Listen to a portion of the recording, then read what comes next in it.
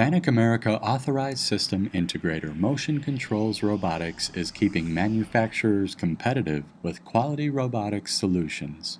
Robotic bin picking is commonly used in industries dealing with automotive stampings, molded plastics, or medical equipment for machine loading or assembly. Part bins can be large wire containers, small to large plastic totes, or even trays.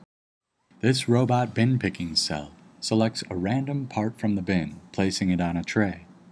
The cell contains a Fanuc M10IA robot for bin picking and an LRmate 200ID 4S short arm robot for moving the parts from the tray to a fixture. The Fanuc M10IA robot uses a multi-gripper to move parts. The magnetic gripper distributes parts, and the mechanical gripper picks mapped parts.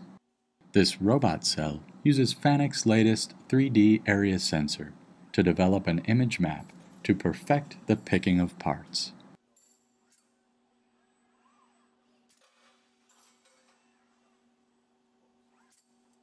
Since these parts are randomly placed in the bin, the M10IA robot picks the part and places it on the tray. The part is placed with the flange either up or down, and the sensor on the end of the tray relays the information to the LRmate. Then the LRmate either rejects the part or accepts the part by placing it on the fixture. The processing of the part on the fixture may take longer than the bin picking.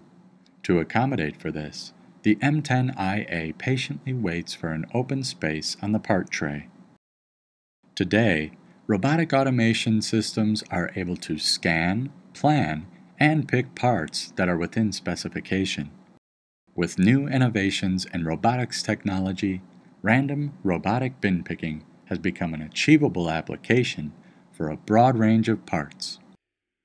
To learn more about Fanuc America Authorized System Integrator, Motion Controls Robotics, please visit motioncontrolsrobotics.com.